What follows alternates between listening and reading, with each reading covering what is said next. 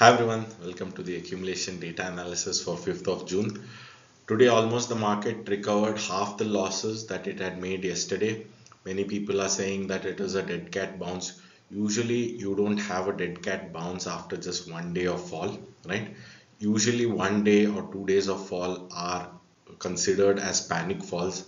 That is quite clear from what we are seeing because of the market felt that probably NDA might not make the government and that is the reason you saw a big drop. But today we have recovered almost half of it because NDA is kind of um, forming the government as of the as per the latest news that we are hearing. So let's get started. Let's see what the data is telling us and how we should be playing it in the coming days.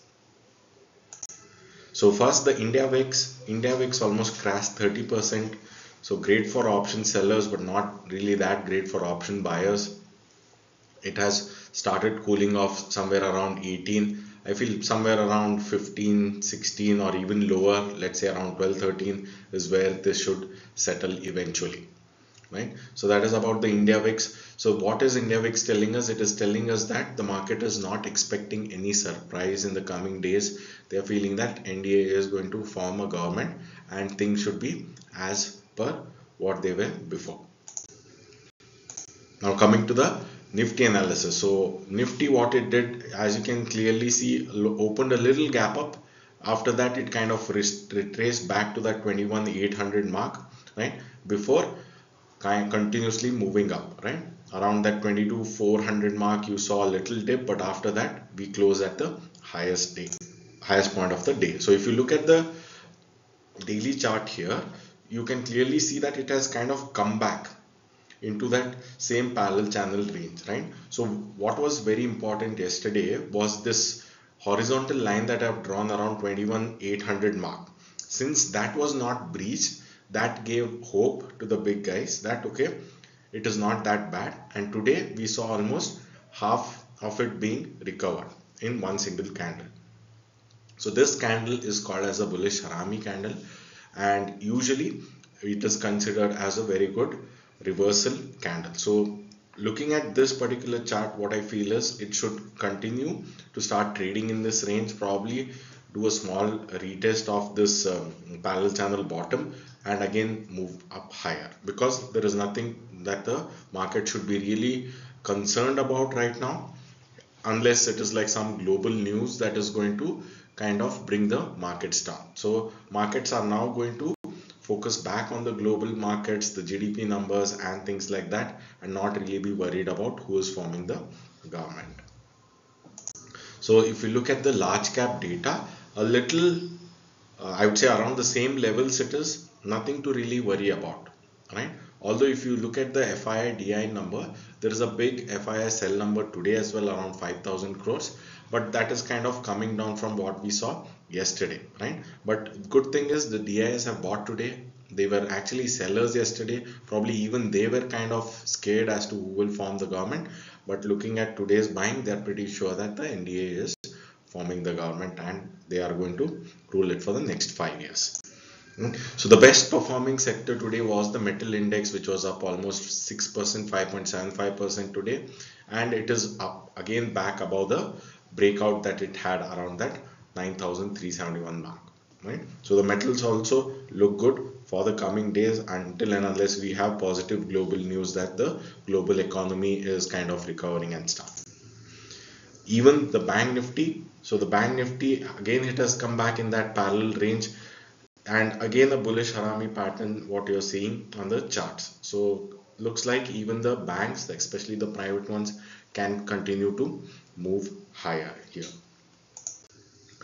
Coming to the mid cap analysis. So mid caps like i mentioned in yesterday's video since it had not breached that 48750 mark it is it was positive for the bulls. Even the data was good right? So today we saw a very good recovery almost 4.3 percent up for the mid caps most of the mid cap stocks were up close to like 7 8 10 percent as well right? And the data although the data has kind of dipped but it is better than the average we can say right? So nothing to be really worried about if you look at the mid cap data right? So the uh, chart is also bullish even the data is good nothing to really worry about. And if you look at the distribution even that has cooled off although it is still a little above average.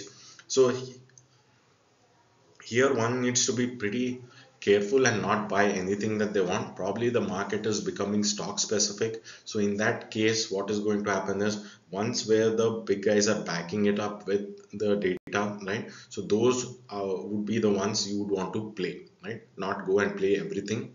You would want to play those where the data is strong right? Now coming to the small cap analysis. So the small cap after breaking down from this rising rising wedge right it is actually quite a bearish formation that it has formed. But the today's candle is pointing at more gains for the small cap index. Probably it can do a retest of this right? Or it can go back up almost to the highs it had ever made right? Around that 17,600 700 mark right? Before kind of falling back down right? So this is about the small caps again a bullish Haramic pattern stick which tells us that there is a reversal in place right? Even the 30 WMA line right has kind of helped all these indices to kind of bounce back up again from the lows that they hit yesterday. So even if you look at the small cap data it has kind of cooled off. It is not as strong as what we saw yesterday right? Yesterday was somewhere near the 200 levels. Now it is somewhere around the 100 levels right? Because usually uh, what happens is once the move is done probably the big guys are not pushing in so much money that they kind of push it at the lower levels. So that is the reason why you are seeing this happening. But nothing to be really worried about here. What you can do is back the ones where the accumulation is strong and they should move even higher. So in summary what i feel is probably the market is not going to trade at the same valuations which it used to do when bjp had more than like let's say 272 seats. Now it is more of a coalition government. They have to kind of keep everyone happy there. So the sectors which were like overvalued let's say railways defense psus those mo most of the power stocks also those are going to take a back seat or let's say the valuations are going to become a little reasonable. Once where the valuations were reasonable probably they will get more accumulation in the coming days and they should see a good bounce right? So this is what i feel about the market right now. The up move in the small mid and the large cap should continue. Maybe have one small pullback just to make sure that the weak hands can be kind of thrown out of the market unless there's a big news that kind of tells us that probably NDA is not making a government. In that case, you would see a lot of pain coming in. But as of now, the data also doesn't point at that.